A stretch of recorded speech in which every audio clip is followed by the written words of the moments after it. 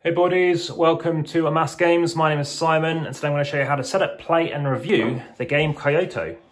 Now this is a game for three to five players. It's a bidding negotiation game whereby you're lobbyists and you're trying to ultimately uh, kind of let the world survive, you know, the globe, the economy, the, well, the economy is another point, but trying to let the, the animals maybe survive. Maybe you're trying to let uh, air pollution be, you know, at reasonable levels.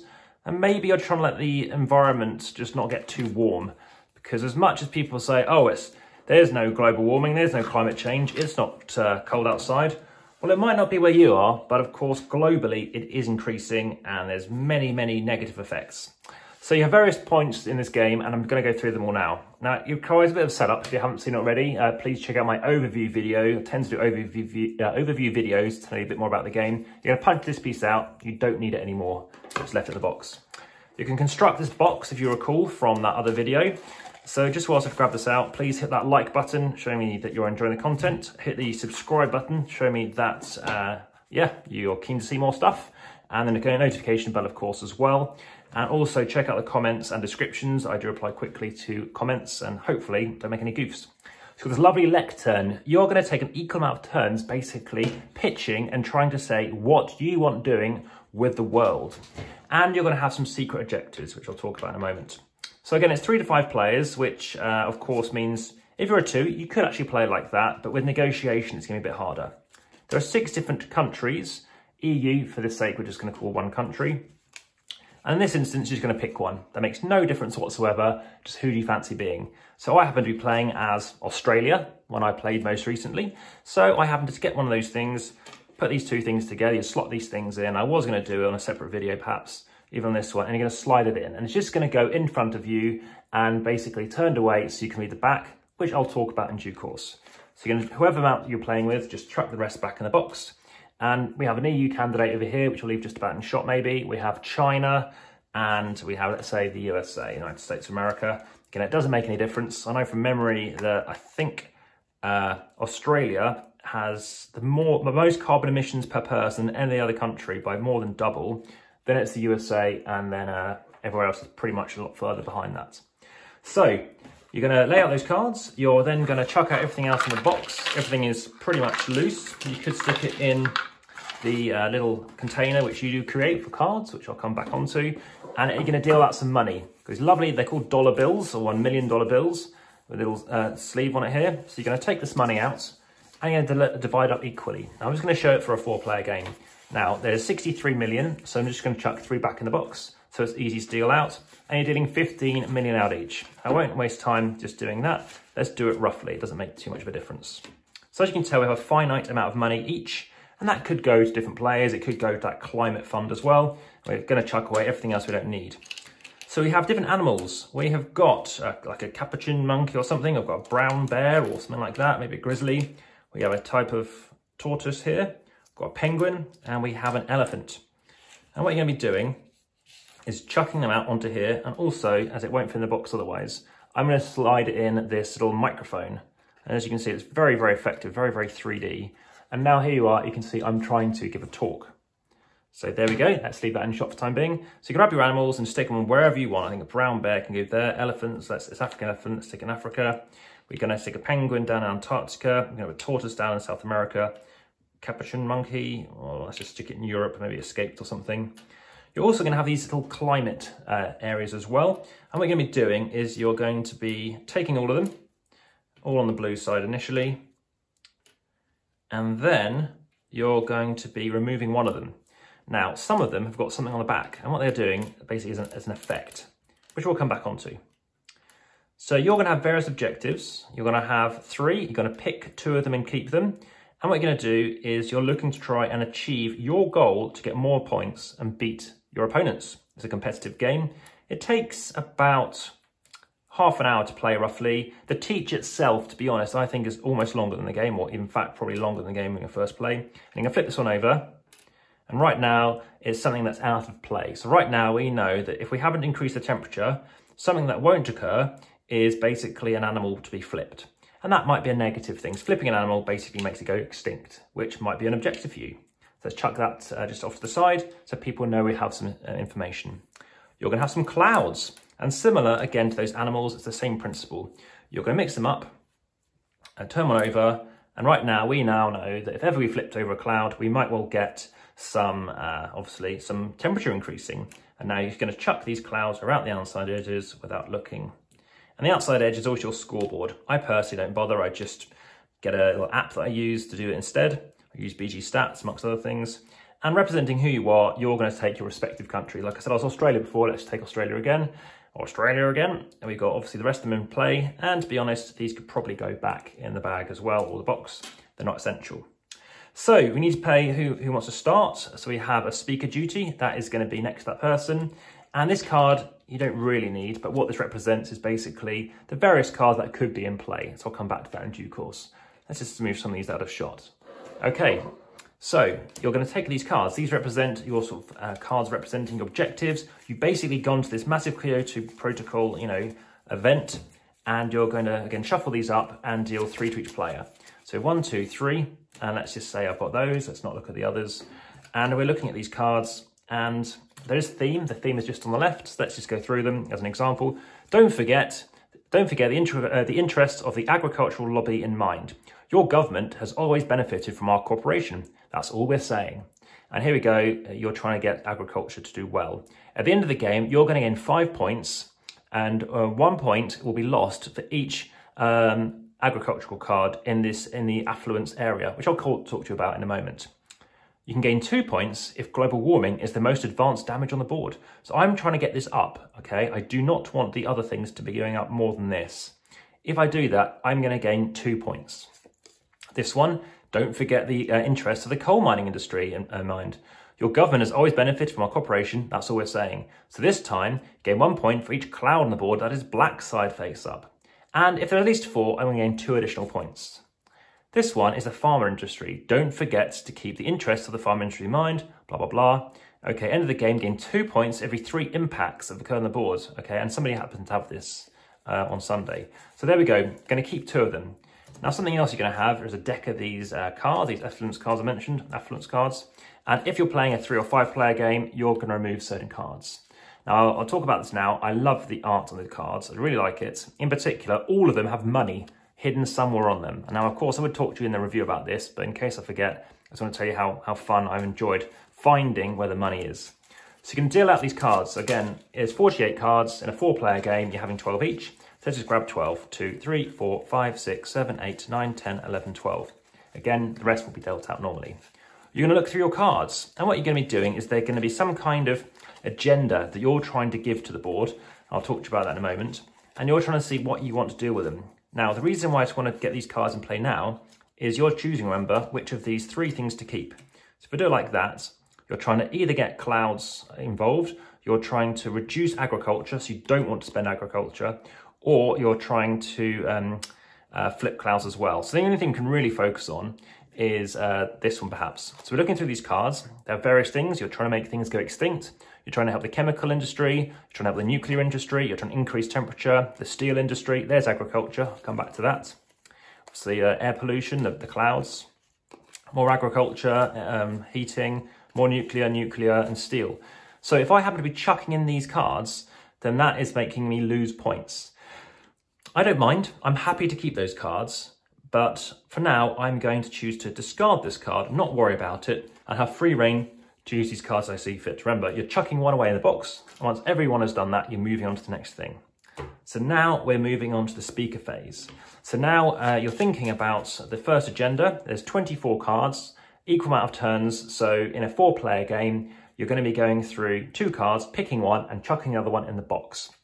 Now, when it's their turn or somebody else's turn, of course, they're going to go through two as well until, as you can imagine, if you do your division, then once you've gone around the table three times, that's 24 cards because you've picked two, there's four players and there's three rounds. Okay, so these are the two things I could try to do. I could try and reduce CO2 emissions by 150 tonnes. And I'll talk about in a moment. You're basically chucking in cards that meet that and you're doing it collectively. So I could chuck in 100 tonnes, someone chucks in something else. Now, I need chuck in three funding as well, three million. So of course I've got my money here, my chunk of money, and I can use that as well, as can everyone else. If we don't do this, there's gonna be some damage. And basically what's going to happen is one of these is going to flip over. Now looking back to my things, these don't actually impact me. So I don't care if these uh, get damaged, to be honest, but it might help somebody else. Now, the second thing I could choose to do or be aware of is um, everybody's going to see this. So if I happen to pick this card, you put it in very carefully and you can see, you can't see that actually there's extra damage. Everyone's going to see this. They're going to see what we need to achieve. But what they're not going to see is also what's going to happen is there's going to be more damage. There's another extinction happening. So let's look at the other card. In this one, and that's called uh, Study on the Contribution of the Food Industry to Greenhouse Gas Emissions.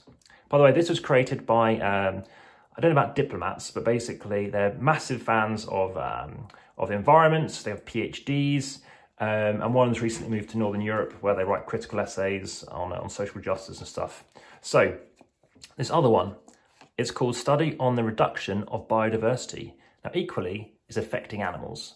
And uh, what you need to try and do is chuck in two cards, which uh, obviously help exterminate animals. Let's say burgers. Now, directly not killing where you are killing cows, say, but equally, you might well having to raise the land, such as in a, you know Amazon rainforest, which isn't good. So that's reducing biodiversity, as you can imagine. So if you can't chuck in two cards and you don't chuck in five million, then this is occurring. So more damage. So I've got to pick one of them. Well, neither of them benefit me, so I'm going to go with the least of the two, perhaps, 3 million. I'm going to chuck that in. Again, the others wouldn't have seen the bottom part. Then I chuck the other card away, so they won't see uh, what that's about.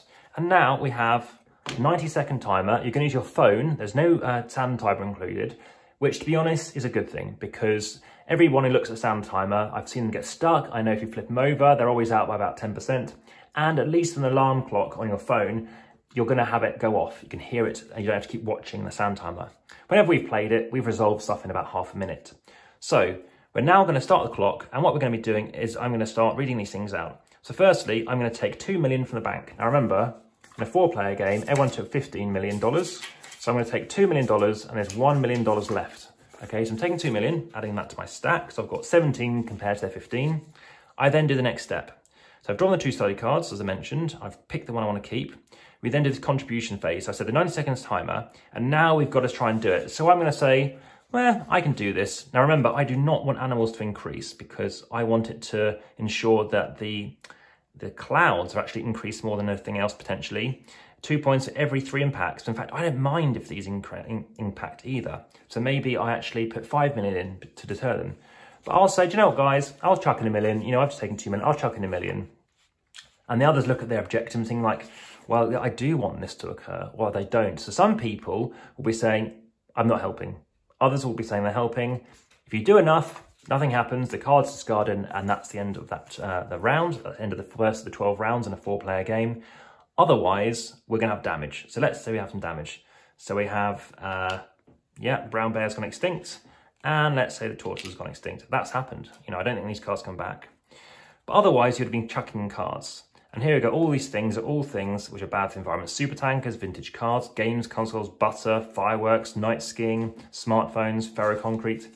So that's one of the 12 rounds. It's going to go on again and you're going to do other things. But let's just quickly show you what would happen if uh, you happen to play out some cards. So let's go on, just do one more example, two more cards. Uh, we have studying the effect of air pollution and water quality on soil humidity. Uh, so we're increasing a cloud could happen and temperature increases. This one increases it twice. Well, let's say we go for, well, let's try that one. I'll show you an example, 100. So we're going to be chucking in, well, one card. If other people chucked in cards, so somebody chucked in those two, and I chucked in this. Remember, some of these cards, if you can recall, they actually have certain things. They are looking to have automotive. I have the automotive one. And again, uh, people do not want to have automotive going in. Now, I didn't have any, but what you're trying to make sure of is if I'm the speaker, I'll say uh, let's say someone did pick up an automotive card. So let's say they had one to hand. And we've got golf in here, cosmetics, obviously there's temperature, and that's a tractor, but it doesn't class towards automotive Formula One. So if somebody chucked in that, now I'm the speaker and I've got the automotive one. I do not want automotive being contributing because I don't want to make out as if we've given up Formula One. I'm going to say, well, I'm going to pick these two cards or that one. Okay. So now that goes back to the person's hand. And um, what's going to happen is that isn't in the game anymore, so it's discarded. And that's what these flags are for. You're going to cover it over. And again, um, that's now being added. Now, if you happen to get more cards in this zone, you're just going to sort them out based on the type. So oil, so we have cruise liners, plastic bags. If you happen to get, uh, we talked about, chemical, if you happen to get something else, steel as I talked about, that can go there as well. Now, at the end of the game, you're then going to do some scoring. That's where this comes in handy. So you score one point per affluence point, uh, basically included under all of your flags. Anything that you've tried to contribute, you're getting a point. point, and anything else in your hand, any cards you had remaining. So I had nine cards last time. That's nine points plus whatever I tried to add. That's 10 points, because I tried to do something. You're then going to get points from your agenda cards. So if I go through this one that I just had a moment ago, Please bear in mind, of course, we just started a couple of turns. Two points every three impacts. Well, there's none there because I haven't done at least three. And gain one point for each cloud on the board that is black side up. I'm not getting any points there. So as you can see, you're getting points here. And normally, this is where you're getting the most points. So obviously, one turn in the game, not much has really occurred. Uh, the final thing we're getting at points is on money. So whoever has the most money at the end of the game, they're going to get four points, and in a tie, you're still getting four. Any country with the second most money get two points and anybody in third position gets one point. So that is Kyoto. I think it's a fascinating game involving obviously the environment, most importantly, but also is I, I love bidding games, I love negotiation games, the set amount of money you have each. You know, I have played other games of a, of a different theme, but a sort of a similar idea, such as Panic on Wall Street, and I have to do like, well, in that instance, uh, well, that game. I came second in this game and I happened to try it out the last time I played it. Um, I like the idea of the cards, obviously lots of things to bear in mind. Just something to be aware of though, of course, is probably going through and explain to everybody the kind of things that could occur. The kind of, the damage makes sense, it's all kind of the same thing. But it's where these cards, the kind of objectives that you're trying to achieve, they change things quite a bit. The person who won kept moaning that they were chucking in a lot of money, but their secret objective was actually to take half of all the money that went back into that environmental fund. So any money that you're chucking in to try and meet an objective, like 5 million, goes back to the central reserve. As long as that's there as well, at the end of your turn, sorry, when it's your turn to be the speaker, you're drawing and taking $2 million as well. So yeah, I found I give this game a high seven. I think, you know, pretty much an eight out of 10 because I, I love the idea of obviously negotiation, the bidding. Uh, naturally, those kind of games, you do need, uh, as you can imagine, three players. Otherwise, it's just, well, I'm going to be contributing or you're not, or you are. And it just comes down to luck, perhaps, based on the kind of cards that you're dealing with. Um, but I like the idea, obviously the flavor text. Now, of course, on the uh, some of these cards, it's especially on these objective cards, it does take up half the thing. And of course, they're quite repetitive, as you saw. We could be gaining five points, one per chemical lobby. I think it's very educational. I think it's very, very interesting. Of course, I created this box and you're basically chucking all your cards back in there as well. So you're chucking your 48 cards, you're chucking in all of your other things too. Nicely laid out, you know, nice uh, sketchbooks and things like this and clipboards and things like that. Nice use of this and the hidden stuff. I think it's very nice. Um, yeah, very nice thing. It's a nice small box as well. I don't know if that was their intention. There was no plastic inside the box either, which might be why they didn't choose to do that. Of course, it wasn't shrink if you saw the other video.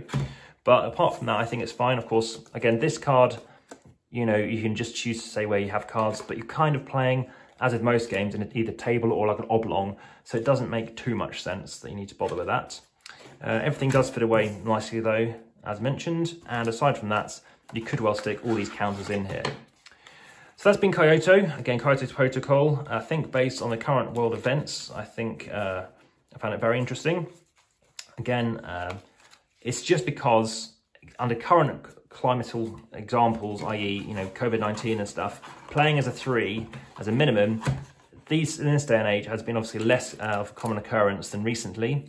But for a game that isn't too long, of course, you just need to be aware of how to play it. It's quite an interesting one. So if we happen to flip over this, that's all that happened. It got a bit warmer, and then we flip over a cloud, and then warmer again, etc. Wherever that was going to be. So these all fit in nicely in here. Nice little small map of the world, and it is double-sided. So you could choose to be in Africa, or you could choose to be obviously in the Pacific and the Americas and stuff. So rather nice, a nice kind of cute animals. Um, yeah, Austrian designers, and I think they've uh, done a nice job on this. And yeah, I don't know if they've made much else to be honest, but yeah, very much enjoyable game, and I very much look forward to playing it again. And yeah, please let me know what you think. Uh, is this the kind of thing for you? There are other games I have, which is I'll buy Pegasus Spieler in this size. And um, as you might know, I quite like Pegasus Spieler games a lot, mostly because they're not too big. And um, this does actually fit um, in a, in the, it's going to go into the playlist. So if you want to see other videos by Peter Spieler, Deep Print Games, I haven't heard of them before. I don't know if that's got anything to do with the actual uh, designers. We're going to chuck everything back in the box. Well, again, any questions, please ask. Again, it's a bit of a teach, but once you're up and running, it's fairly straightforward. Any questions? Bye for now.